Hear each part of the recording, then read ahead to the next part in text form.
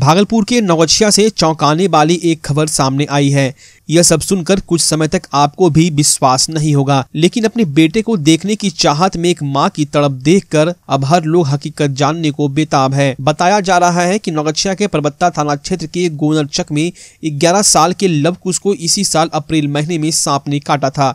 इस संबंध में लवकुश की माता माला देवी ने बताया की सांप के काटने के बाद अंधविश्वास की गिरफ्त में आकर उसका झाड़ फूक भी करवाया। लेकिन जब इससे भी फ़ायदा नहीं हुआ, अब बच्चों को मृत समझकर मान्यता के अनुसार दोनों बच्चों का अंतिम संस्कार न करवाकर उसे नदी में बहा दिया गया। वहीं मृत बालक की माँ आभा देवी ने बताया कि घटना के बाद उन्होंने मान लिया था कि अब उनके बच्चे इस दुनिया में नहीं हैं।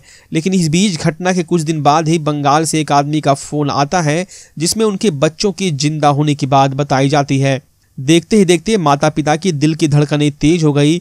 बच्चे के माता पिता अपने कलेजे के टुकड़ों को खोजने में लग जाते हैं। अक्षय की माँ आभा देवी की माने तो काफ़ी खोजबीन के बाद भी जब वो अपने बेटे को नहीं खोज पाई तो वो अपने परिवार वालों के साथ मिलकर मदद के लिए नौगछिया पुलिस के पास कई दफ़ा गई, लेकिन पुलिस से उन्हें कोई मदद नहीं मिली।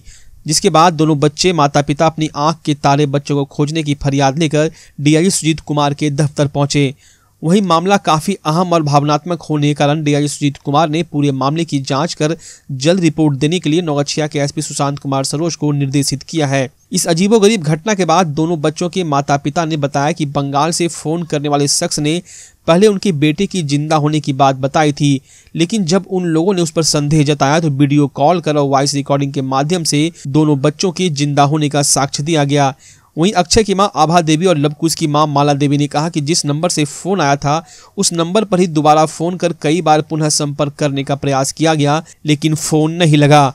ऐसे में माता पिता का चिंता बढ़ना लाजमी है और ऐसा हुआ भी।